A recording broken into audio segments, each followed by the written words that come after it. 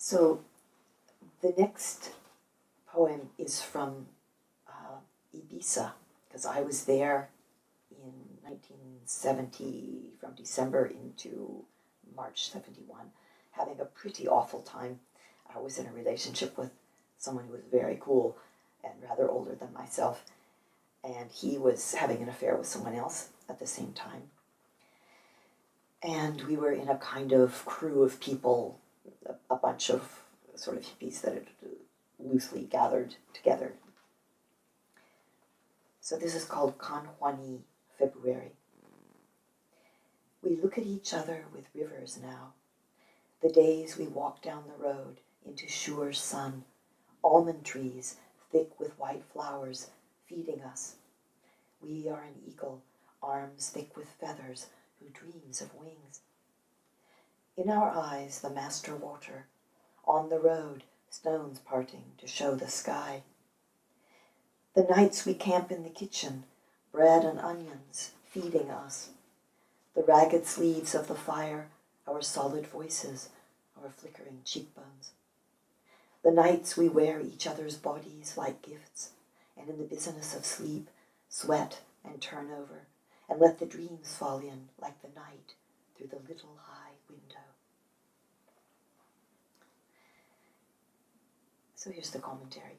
Even in a sorry time, with the wrenching decampment of my lover's affections to another, even with the psychic displacement drugs bring, there were these times of bliss and luminosity.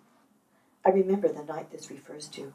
Our crowd were staying at the house of an acquaintance on another part of the island. I remember the flowering trees just outside. We took some dormindinos, hmm, ridiculously large and strong Spanish knockout pills. I remember I saw stars and fell down, and I must have woken in the night or early morning, somewhat recovered and written, or maybe it was later in the day. We did so drift. Or perhaps we stayed two nights and I wrote it on a previous night before we took the damned things. I have learned through experimenting, and this only happened after I saw a really nice vid on YouTube where a young man from India went around filming all sorts of people singing and dancing and speaking gratefulness. And it just hit me right. I learned that if I wake in the middle of the night, I have a distinct choice between worrying and doing the opposite. And this opposite is what I call doing my gratefuls. I just lie there saying to myself, I'm grateful for that black dress with sparkles on it I got at the charity shop today. I'm grateful that I took into the shop a bag of stuff that I don't want anymore. I'm grateful I'm reading Passage to India by E.M. Forster because it's just brilliant and it makes me happy to read. I'm grateful the recycling trucks came today and took away all those bottles and all that paper. I'm grateful for this house. I'm grateful I went for such a good long walk. I'm grateful for my clean sheets I'm grateful so and so said something nice about my book. I'm grateful there are some nice leftovers in the fridge from today, so I don't need to cook tomorrow. I'm grateful I got a lot of ironing done. And so on.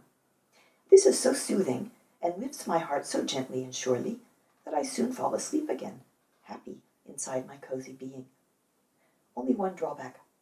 Now, in the daytime, if I start to think of something I'm grateful for, right away I feel sleepy